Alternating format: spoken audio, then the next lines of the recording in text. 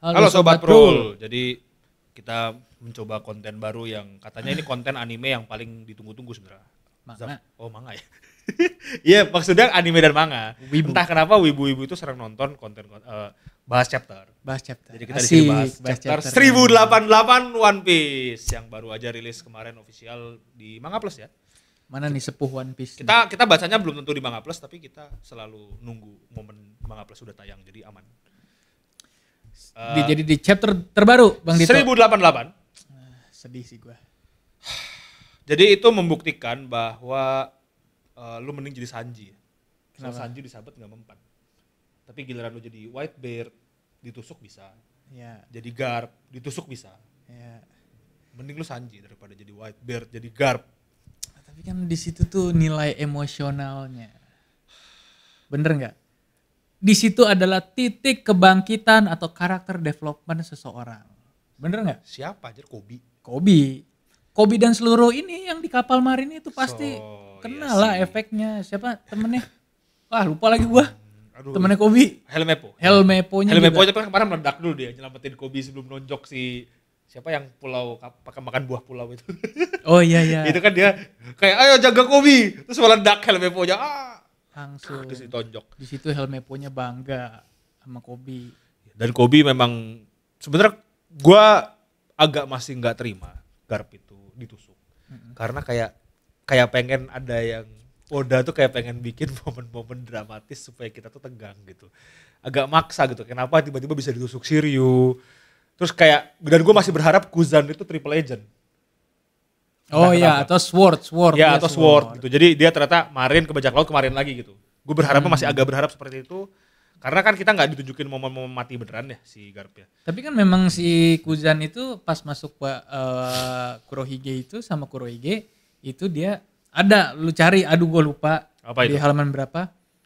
Dia tuh sama Kurohige dibilangin lu terserah lu bebas mau ngapain aja. Oh, Ada tuh. I see, I see. Kan iya, iya. Jadi sebenarnya terserah Kuzan itu. Oh. Jadi kita masih ada Harapan, harapan, ya. bahwa si ini aja masih hidup kan? Siapa yang D D, D, Saul Saul, Saul. Oh, yang gede badannya iya iya itu yang dibekuin iya, kan iya, itu bener-bener. ternyata sama si Kuzan. Jadi Jadi ya gua agak gimana gitu sama Garp. Tapi karena momen itu diberikan ke Kobe, kayak Hmm. Kobe itu jauh lebih keren menurut gua jadi sebuah seorang MC. Karena dia benar-benar mencapai posisinya dia sekarang itu sampai bisa mukul pulau itu hard work bro. oh iya sih tanpa ini ya. Tanpa ada doping Kan buah di situ iblis. ada ada flashback Kobinya juga kan di mana dia Oh. dia tuh sebenarnya nggak apa ya badannya tuh apa ya kurang apa ya kurang cocok, Kurang maksudnya kurang ber- cocok. kurang kurang berbakat. kurang dia itu iya, bener iya, kurang bakat. berbakat gitu. dibilang nggak bakat badannya tapi dia ngikutin tuh nonjokin sampah kapal kayak garp Jadi dia itu by hard work. Mau lu ngomongin Luffy juga hard work, iya, tapi kan dia udah makan udah dapat buah paling bullshit sekarang sih. Luffy dan keluarganya terkenal iya iya semua. iya iya iya benar Ya kan? Zoro iya, Zoro juga keturunan Shimotsuki. Sanji keluarga ini siapa namanya? Siapa nama keluarga Sanji? Sanji ini eh eh, Jerman Ya, keluarga Germa.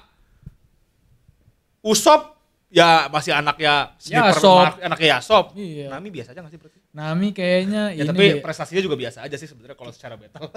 Nami masih misterius kok Masih misteri. Oh, dia kan ini ya. bisa anak aja dia anak ya? anak langit dia Oh, oh iya, iya, tahu ya. Anjir. Atau Nami eh, ini. gak usah nambah teori aneh lah. enggak enggak. Atau Nami ini ternyata apa namanya? Celestial Dragon tuh apa? Bahasa Jepangnya Pokoknya Tenryubito. itu- Tenryubito. Iya, tapi gak usah nambahin teori-teori aneh lah. Ini kita lagi konteksnya ngomongin Garp, bro. loh. Gue udah nambahin tadi. setuju nggak? Setuju nggak Nami itu Tenryubito? Karena dia diambil oleh Marin. Oh, iya sih. iya kan? Dia kan habis apa namanya? Kayak bekas perang diambil sama Marin. Bisa jadi Tenryubito soalnya belum ada Tenryubito kan di kapal Luffy Berarti semua nggak jelas. Kalau dipikir semua jelas kecuali Nami ya. Brook, iya Brook Nam- jelas, Brook Nico Robin jelas, Chopper jelas, Frankie Jinbe udah jelas Jinbe sangat jelas. Iya Nami doang. Nami yang belum, ayo. Yang selama ini cuma jadi fan service atau ternyata dia ternyata backgroundnya dia tuh memegang kunci kunci dari Yang segala kunci. penting. Ternyata dia masih keturunan Nefertari juga ya. Iya. Jadi bukan masalah ke One Piece ya dia, tapi masalah ke world government-nya. Waduh, Keren nggak? Waduh, waduh. Lah sekarang kan permasalahannya kan world government juga si itu. Siapa namanya? Ini udah gak ada hubungan sama chapter Imu. 1088. Imu. Ini udah gak ada hubungan sama chapter 1088. Di chapter 1088 itu kita ngomongin Garp ditusuk. Udah itu doang. Lah, Garp kenapa nggak mau naik jadi admiral? Karena dia gak suka sama yang atas iya, kan. Karena karena ujung-ujung Admiral tuh jadi kacungnya Tendu gitu Iya, dan benar. si lima kakek. Jadi Lima kakek. semuanya itu bro harus kita sambungin. Oh jadi kunci Menjadi- dari semuanya adalah Nami gitu. Lu nggak bisa, lu nggak bisa skip chapter mana chapter mana. Lu nggak bakal tahu. Eh tapi gue gak ada yang skip kalau komik gak ada. Cuma, Iya. cu- cuma lupa. ya chapter sebanyak itu. Terus lu gua lu suruh gua buat baca SBS, baca cover. Nggak, SBS dibaca capek bro, capek. Eh, tapi ternyata kemarin juga yang hype-nya juga ternyata dikecewakan ya penonton. karena Bogart, yang Bogart, Bogart. Bogart tuh yang tangan kanannya Gart Oh, ternyata Oh. nggak muncul sama sekali. oh, oh nggak ada kemarin ya? Nggak Eh nggak ada ya anjir, kan dia Yang sword. yang sama orang di zoom yang chapter sebelumnya tuh, wah ini Bogart nih. Bogart bakal nyelamatin Gart nih, lihat nih panggung dikasih panggung dikasih Nah, itu. panggung. Udah- Cabut. Orang orang yang bikin teori itu udah delete akun langsung. Delete akun, menghilang aja lah. Bogart gak muncul. Ya, yang yang gue ngerti gitu loh. Lu bayangin Oda udah nyiapin buat karakter development Kobe supaya dia jadi makin kuat gitu. Gak mungkin itu tiba-tiba diganggu Bogart. Gue juga lupa siapa Bogart bro. Ya kan kirain di situ adalah panggungnya Bogart. Oh, Iya kan? panggungnya Bogart. Iya kan yang selama ini Bogart siapa sih? Kok Anjir. Bogart berani-beraninya ngajarin Helmepo dan Kobe? cerita Vegapunk yang dipotong sama kejadian-kejadian di pulau lain terus yang penting gitu loh kan cerita Vegapunk terus lo pengen momen itu tuh gara-gara ada Bogart Tapi gue penasaran sama Bogart sih. lo penasaran anjir lo penasaran sama Bogart Gak Karena udah berbentuk, ya udah berbentuk. kalau enggak kalau gue jujur gatel sama Vegapunk itu udah lah nggak usah lama-lama lah Kayaknya di dibikin kayak bagi lah. dah. kayak bagi Jadi jadi ini kayak hoki-hokian aja gitu. jangan-jangan nanti prestasi Kobe dianggap sama Bogart lagi Atau Bogart tuh ternyata lawak. Kecewa gak sih kalau dibikin kayak gitu? nggak tahu sih Dia kayak ini kayak kingnya di One Punch Man gitu kan. Oh iya iya iya. Yang Nggak, udah, udah udah cukup bagilah yang jadi lawak lah. Gak usah dikasih kasih lagi yang lain. Bogart dong.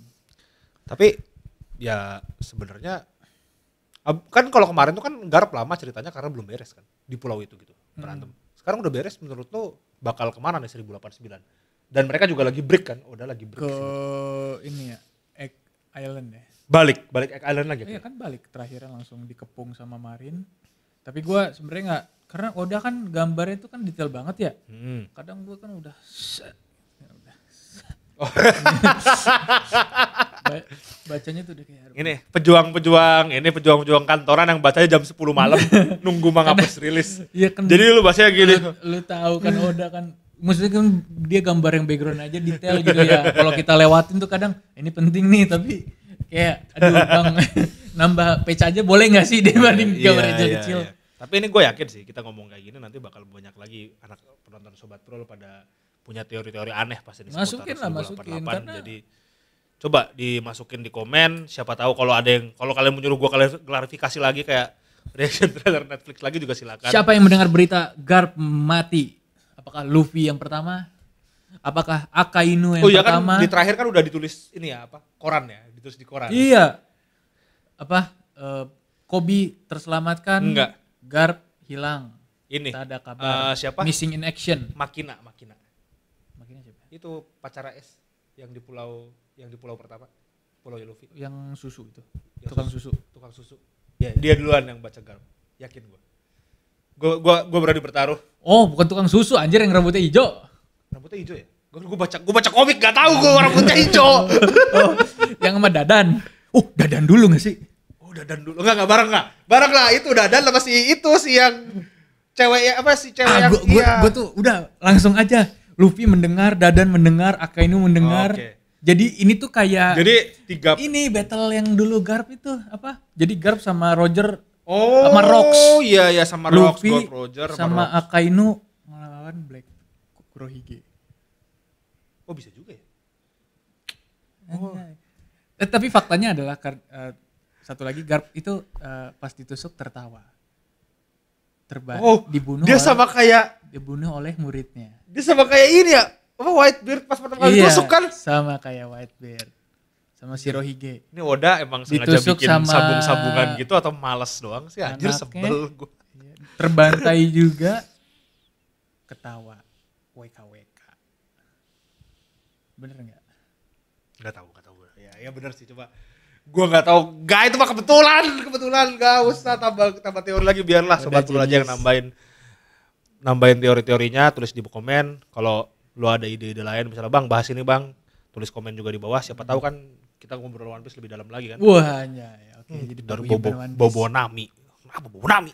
Sampai jumpa di video berikutnya. Gua Dito. Bye bye